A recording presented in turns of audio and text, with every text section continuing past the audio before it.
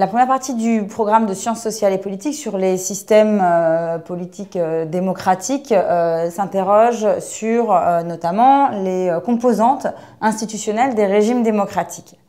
Alors, on peut déjà commencer par se demander qu'est-ce que c'est qu'un régime démocratique. Hein. Donc, on dit souvent que euh, c'est le gouvernement du peuple, par le peuple, pour le peuple.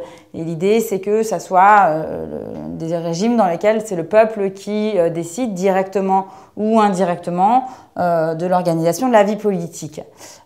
donc, nos démocraties occidentales sont aujourd'hui des démocraties représentatives, c'est-à-dire que les citoyens élisent leurs représentants. Euh, pour euh, qu'ils gouvernent euh, en leur nom. Évidemment, il ne s'agit pas uniquement il suffit pas d'élire des représentants pour qu'on soit dans une démocratie. Il faut d'autres conditions, notamment que la pluralité des opinions puisse être respectée, qu'on soit dans un état de droit, c'est-à-dire que tout le monde soit soumis aux mêmes lois, y compris les gouvernants et l'État, euh, qu'il y ait euh, une garantie des libertés individuelles euh, et, notamment une séparation des pouvoirs. Alors, les, la séparation des pouvoirs, il y a trois pouvoirs. Le pouvoir exécutif, le pouvoir législatif et le pouvoir judiciaire. Le pouvoir législatif, c'est le, pouvoir qui fait les lois, qui vote les lois. Donc en France, par, par exemple, c'est le Parlement, l'Assemblée nationale et le Sénat qui détient le pouvoir législatif. Le pouvoir exécutif, c'est celui qui euh, dirige la politique de la nation et qui contrôle, qui met en œuvre les lois, qui applique les lois. Donc en France, c'est euh, le gouvernement. Et enfin, le pouvoir judiciaire, c'est le pouvoir qui euh, contrôle et sanctionne l'application des lois. Donc en France, c'est la justice. Et Montesquieu avait mis en évidence le fait que dans un régime dans lequel les trois pouvoirs ne seraient pas séparés, euh, serait très rapidement une tyrannie, hein, euh, puisqu'il y aurait une personne ou un groupe de personnes qui, qui auraient à la fois la possibilité de faire les lois, de les appliquer, d'évaluer de leur euh, juste application, etc. Donc évidemment, ça, ça, causerait un problème et ça serait un régime assez despotique finalement. Donc, les démocraties euh, essayent d'organiser la séparation des pouvoirs. Et cette séparation des pouvoirs, elle prend en fait trois formes différentes qui vont déterminer trois types de régimes politiques différents. Alors, dans le régime présidentiel, donc qui est par exemple le régime des États-Unis, on a une séparation très stricte des pouvoirs. Donc le pouvoir exécutif, il est détenu par le président de la République, qui est élu au suffrage universel. Et le, pouvoir euh, législatif, il va être euh, détenu par euh, un Parlement qui ne peut pas destituer le président, de même que le président ne peut pas dissoudre cette assemblée. Donc il y a une très stricte séparation des pouvoirs.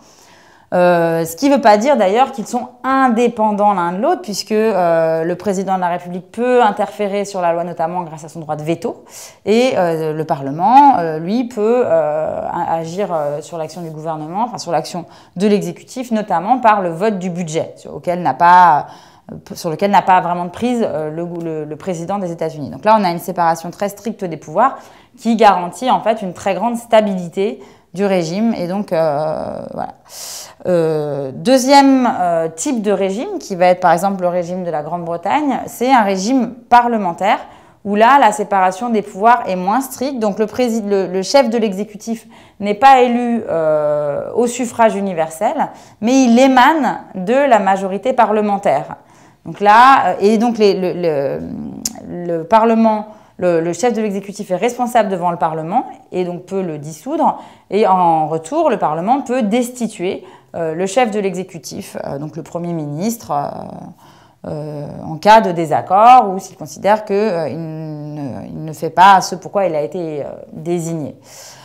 Euh, donc là, on a euh, une influence, on a toujours une séparation des pouvoirs. Hein, euh, un, pouvoir fait les lois et l'autre les applique et dirige la politique de la nation, mais elle est moins stricte et en fait, les deux pouvoirs se contrôlent. Et on pourrait penser que ça mène à une forme d'instabilité, puisque chacun des deux pouvoirs peut destituer l'autre. Et en réalité, ça ne crée pas des régimes instables, et notamment parce que dans ce type de régime, euh, le chef de l'exécutif a une très grande légitimité euh, aux yeux euh, du pouvoir législatif. Un troisième type de régime politique, un peu hybride, qui est le régime français, c'est ce qu'on appelle un régime semi-présidentiel, qui va combiner des éléments des deux, autres régimes. Par exemple, en France, le président de la République est désigné au suffrage universel direct, donc ce qui est une composante du régime présidentiel. mais le, le, chef de l'exécutif, en réalité, c'est le Premier ministre et il émane de la majorité parlementaire. Donc là, c'est une composante d'un régime euh, parlementaire. Euh, pour autant, le chef, le chef de l'exécutif, qui est incarné par le Premier ministre, ne peut pas dissoudre l'Assemblée, alors qu'elle peut euh, le, destituer hein, en, lui opposant une motion de censure. Donc là, on n'est ni dans un régime politique parlementaire, ni dans un régime politique présidentiel, puisque ça ne correspond pas à ces deux euh, régimes. Et en revanche, le président de la République, lui, peut dissoudre l'Assemblée nationale, alors qu'il n'est pas responsable devant, devant l'Assemblée nationale, ni devant le Sénat d'ailleurs.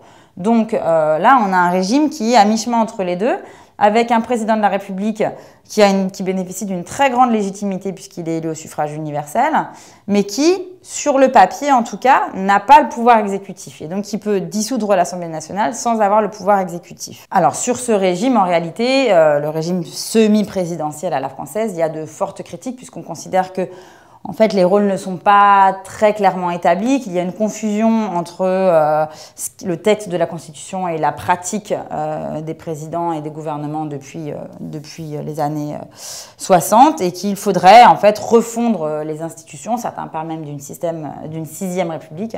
En tout cas, il s'agirait de refondre ces institutions, de les clarifier, afin que la séparation des pouvoirs soit plus claire.